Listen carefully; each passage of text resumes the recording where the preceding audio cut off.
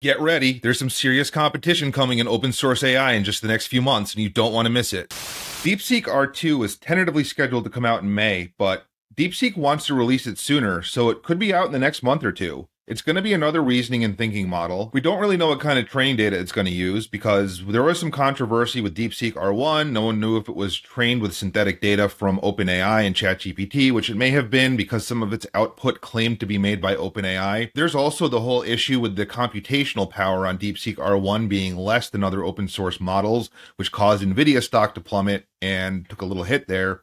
Who knows? Maybe DeepSeek R2 is going to up the ante on the processing efficiency. Next up is Llama 4 from Meta. It's going to be another reasoning and deep thinking model. And what's interesting about this is they've taken a really long time to train it. And there are rumors that they trained it. DeepSeek R1 came out. They paused the development of Llama 4 and then they had to kind of compete with R1 Suddenly R2 is going to come out. Now there's rumors that they're going to be delaying the Llama 4 release again just to make sure it competes with DeepSeek R2. Llama 4 is going to feature agentic capabilities and also be able to handle multimodal tasks all at once with text, visual, and also audio all at the same time. This could mean smarter chatbots, better creative tools, and just another stepping stone towards AGI. Next up is Grok 2, which was a closed source model, but XAI and Elon Musk promised to release the previous version of Grok as open source when a new version comes out. So now that Grok 3 beta is out, they're going to be releasing Grok 2 as open source relatively soon. I don't know how Grok 2 by itself, without being a reasoning model, is going to compete with Llama 4 or DeepSeek R2, but I would figure that with fine tuning and being able to combine models, someone's probably going to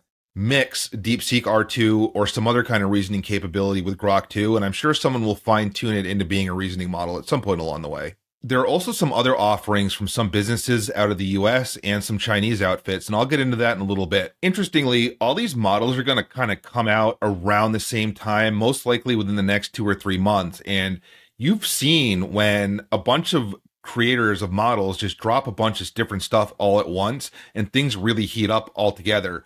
It's been a little bit slow lately, but we're going to eventually, pretty soon probably, reach one of those times when a lot of stuff happens at once. It's going to be a lot to keep up with, and it will be information overload. I'm going to try to keep up with making videos about it. So to recap what we got so far, we got DeepSeek R2 with reasoning ability, we got Llama 4 with reasoning and multimodal capabilities and agentic capabilities, and Grok 2 with an unknown level of capabilities, which I think is going to be dependent upon fine tunes. Also, as of today, Qwen came out with QWQ32B. I had done a video about the preview version. The full version is is out now. And then recently, Google released PaliGemma 2, which is a series of small to medium sized multimodal models. As far as the near future is concerned, all the timelines I have are anywhere from tentative releases to rumors, so it's very difficult to tell, but I can see how the competition and the hype is heating up, and something is probably going to happen soon. Stay tuned for more, and I'll keep you updated.